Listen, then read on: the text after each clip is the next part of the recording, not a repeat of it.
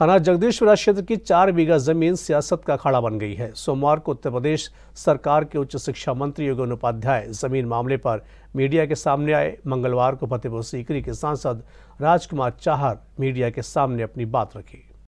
ज़मीन को लेकर कुछ भी हो सकता है। भाई भाई का दुश्मन बन जाता है। दोस्त दोस्त का दुश्मन बन जाता है। बाप बेटे का दुश्मन बन जाता है। बेटा बाप का दुश्मन बन जाता है। ज़मीन को लेकर सियासत भी बनती और बिगड़ती रही है। बड़े बड़े मामले ज़मीन को लेकर उठे हैं और भूचाल आ गया है। आगरा में भी ज़मीन का मामला बवाल मचाए हुए है। थाना जगदीशपुरा क्षेत्र में चार बीघा ज़मीन को लेकर पुलिस और माफियाओं की साठगांठ सामने आई थी। इस मामले में सियासत भी गर्मा गई है। ज़मीन राजनीति का अखाड़ा बन चुकी है। सोमवार को उत्तर प्रदेश सरकार के उच्च शिक्षा मंत्री योगेंद्र उपाध्याय ने मीडिया के सामने अपना पक्ष रखा था। उच्च शिक्षा मंत्री योगेंद्र उपाध्याय ने इस मामले से पल्ला झाड़ा। उनका कहना था, इस मामले में उनका कोई लेना देना नहीं है। जबरन उनका नाम घसीटा गया है। ये सब सियासत है। हमला फतेहपुर सीकरी के सांसद राजकुमार चार पर बोला गया। देखिए, अनावश्यक रूप से कुछ राजनीतिक विद्वेश में लोगों ने मेरे नाम को शामिल किया और आधार दो बताए। पहला आधार तो ये बताया कि एक एग्रीमेंट 20 साल पहले का। एग्रीमेंट की ब्याज एक साल थी एग्रीमेंट की ब्याज खत्म हो गई एग्रीमेंट खत्म हो गया। बल्कि मैं अपने बिहार पर कहता हूँ, मैंने तो छः महीने पहले विड्रॉ कर लिया था। जब मुझे लगा इस ज़मीन में कोई विवाद आ गया तो मैंने ऋषि गुप्ता के साथ एग्रीमेंट हुआ था। ऋषि गुप्ता को कहा, भाई, मैं तो अलग होना चाहता हूँ। मैंने अपना बहुत नॉमिनल पैसा दिया था वो ऑफ़िस लेके, उन्हें लिखित रूप में दे दिया कि मैं अलग हूँ। और इसलिए मेरा तो कोई मतलब नहीं।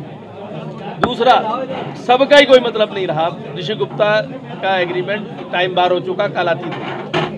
और जैन साहब ने भी मानते हैं इसको कि उस एग्रीमेंट से हमारा कोई मतलब नहीं है और ऋषि गुप्ता एंड कंपनी भी मानती है। मेरा कहना यही है कि जिन पर मुकदमा होना चाहिए फर्जी काम करने का वो तो हो नहीं है हुए नहीं है और जो असली मालिक थे उन्हें बाहर कर दिया गया। मैं तो कह रहा हूँ, निष्पक्ष जाँच होनी चाहिए। इस पक्ष की भी होनी चाहिए। इसकी भी होनी चाहिए। टैल सिंह ने गलत रजिस्ट्री कैसे की?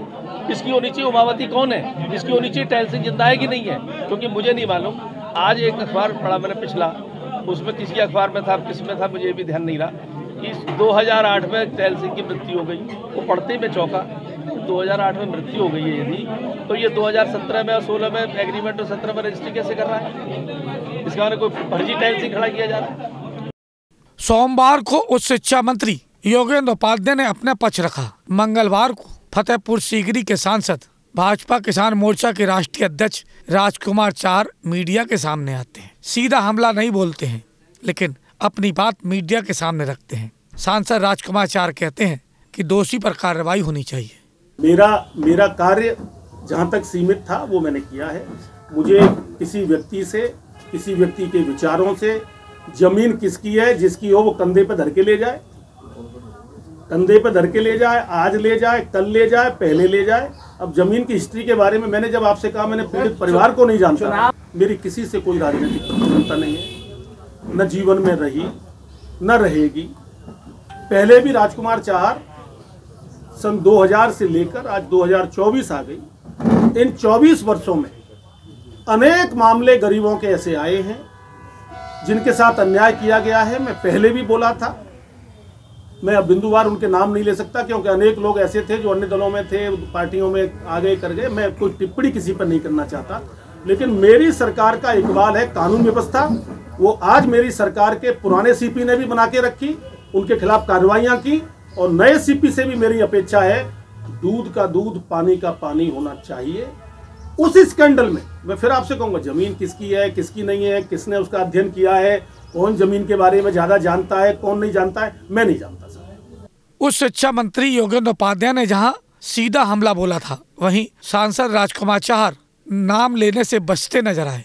बहरहाल, जो भी हो, ज़मीन के इस मामले ने सियासत के दो पहलवानों के बीच पाला खींच दिया है। आला कमान पूरी नज़र बनाए हुए है, लेकिन जिस तरीके से सर्दी के मौसम में सियासत एक ही पार्टी के दो नेताओं के बीच गरमाई है। उसने कहीं न कहीं सवाल भी खड़े कर दिए हैं। Rakesh Kanaujia, C News, Agra. Agra के सबसे लोकप्रिय चैनल सी न्यूज़ के यूट्यूब चैनल को सब्सक्राइब करें और हाँ बेल आइकॉन को प्रेस करना ना भूलें।